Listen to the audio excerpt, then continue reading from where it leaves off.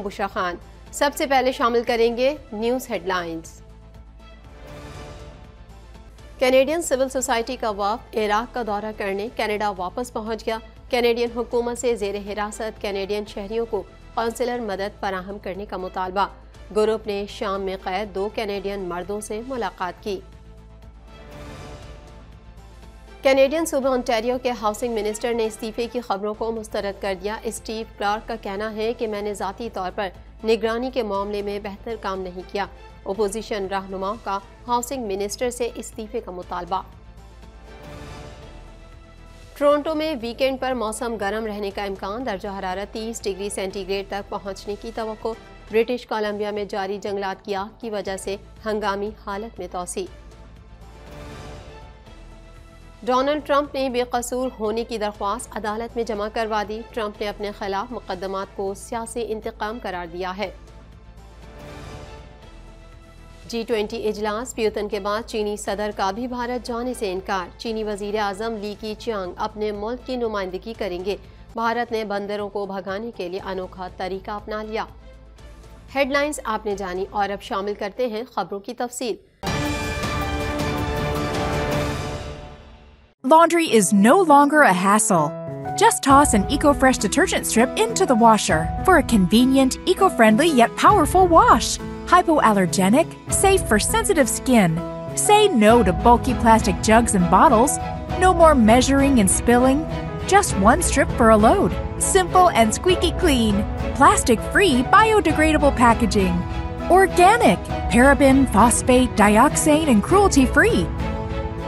Order now at www.ecofreshcanada.ca or at Amazon.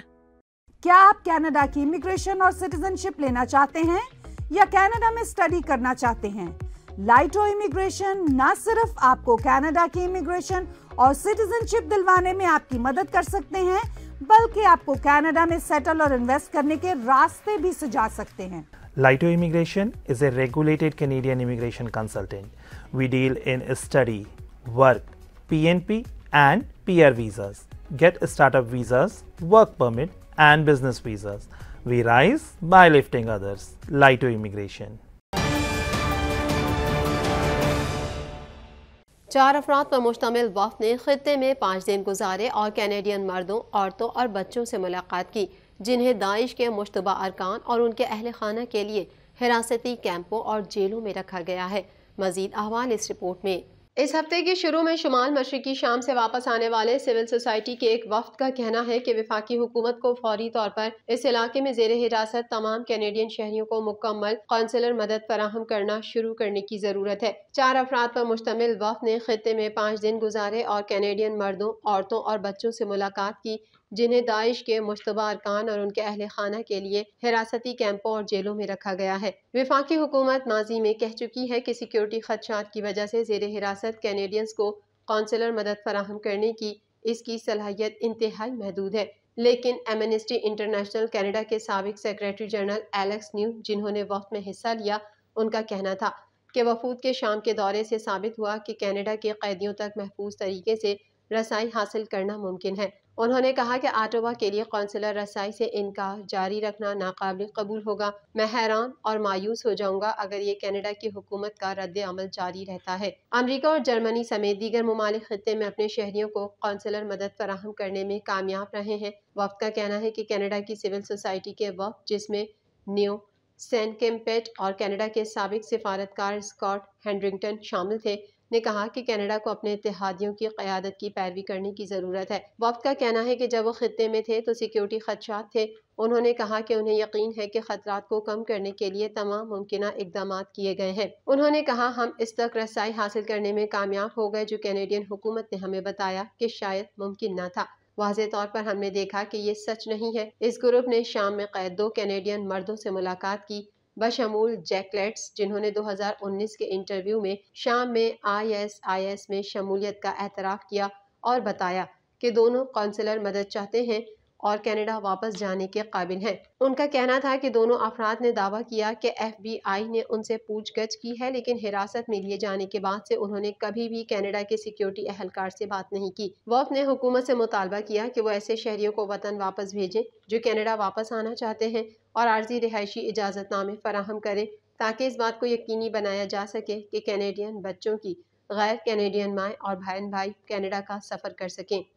Canadian सूबे Ontario के housing minister Steve Clark ने सूबे के हाउसिंग मिनिस्टर की हैसियत से इस्तीफ़ा देने की खबरों को मुस्तरद कर दिया। मजीद जानेंगे इस रिपोर्ट में।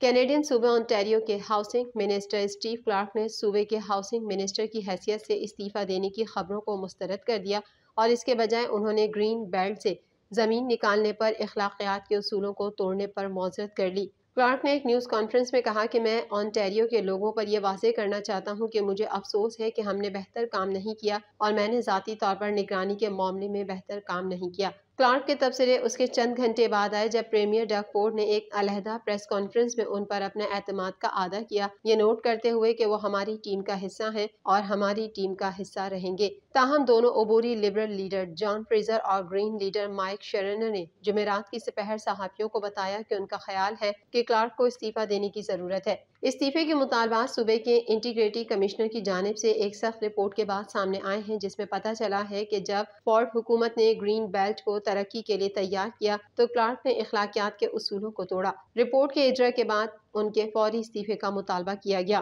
क्लार्क की प्रेस कॉन्फ्रेंस में उन्होंने अपने सबक चीफ ऑफ़ स्टाफ पर नाकामियों का इल्ज़ाम लगाया, जिसके बाद से इस्तीफ़ा दे दिया गया है। इसके बावजूद कमिश्नर ने क्लार्क को खुद अपने अमाल के लिए बाबा सरजनिश करने की सिफारिश की। कमिश्नर ने अपनी रिपोर्ट में ये भी तस्लीम किया कि मुमकिन तौर पर सियासी कीमत अदा करना पड़ेगी। डकपोर्ट की मीडिया की दस्तियाबी के दौरान वज़ीर आला ने अपने परेशान हाल हाउसिंग मिनिस्टर को बरतरफ करने के बारे में सवाल को टाल दिया।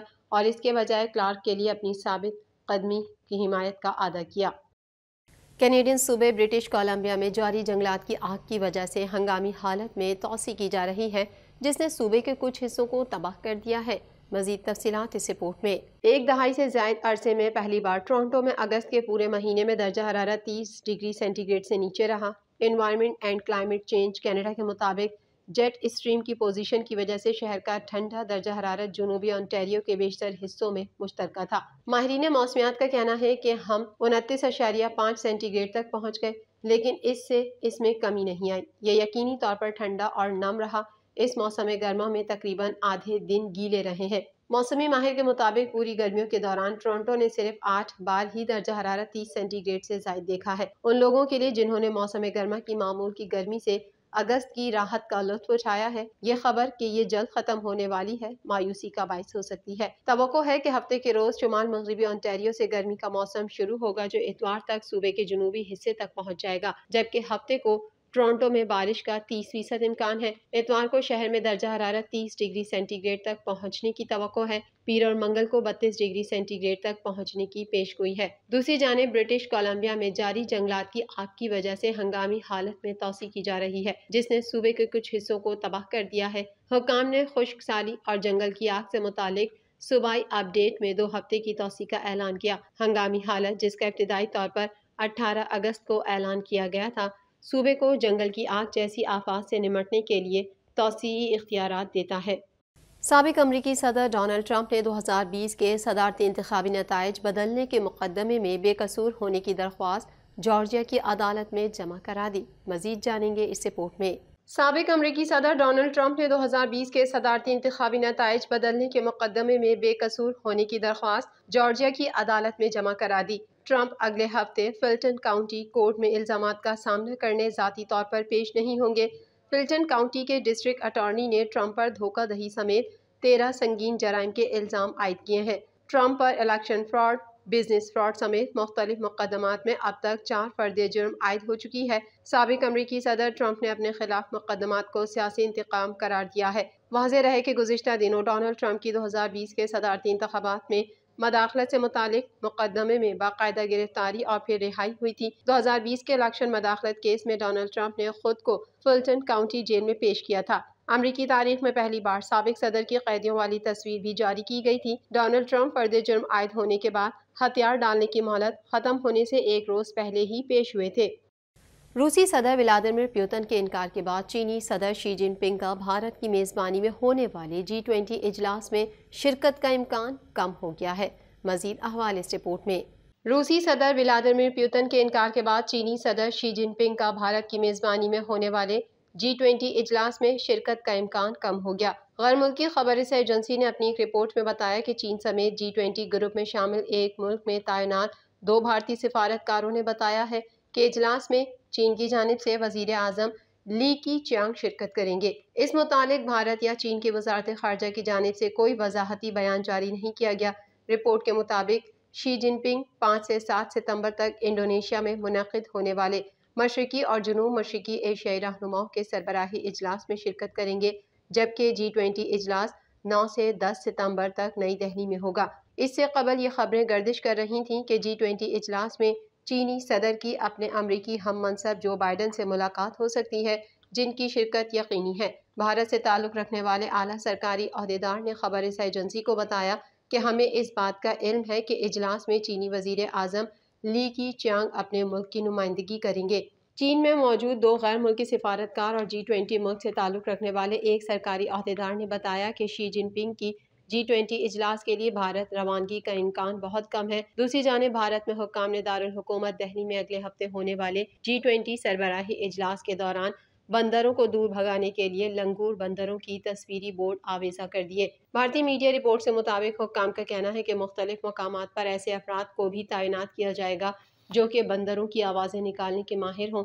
ताकि इजलास के दौरान बंदरों को डरा कर दूर रखा जा सके। दहली में बंदर बड़ी तादाद में पाए जाते हैं और हुक्काम को उम्मीद है कि बड़े और जारहा लंगूर नस्ल के बंदरों की तस्वीरें छोटे बंदरों को इजलास के मकाम से दूर रखने में मददगार साबित होंगी। जी ट्वेंटी सरबराही इजलास नौ और दस सितंबर को होगा। बंदरों के तस्वीरी बोर्ड सरबराही इजलास के मकाम के इर्द गिर्द आवेजा किए गए हैं, जहाँ गैर मुल्की मेहमान क्याम करेंगे। दहली के म्यूनसिपल कॉरपोरेशन के तर्जुमान राधा कृष्ण ने बताया कि बंदरों की आवाज़ें निकालने वाले माहरीन की खदमात भी हासिल की जाएँगी। उनका कहना था कि हमने बीस ऐसे लोगों को हायर किया है जो लंगूर की आवाज़ें निकाल सकते हैं। उन लोगों को सरदार पटेल मर्ग के इर्द गिर्द तैनात किया जाएगा।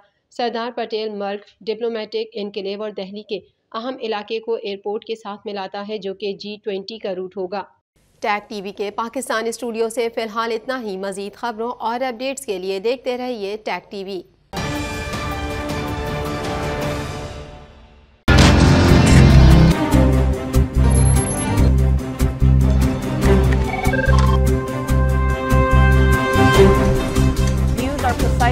perspective.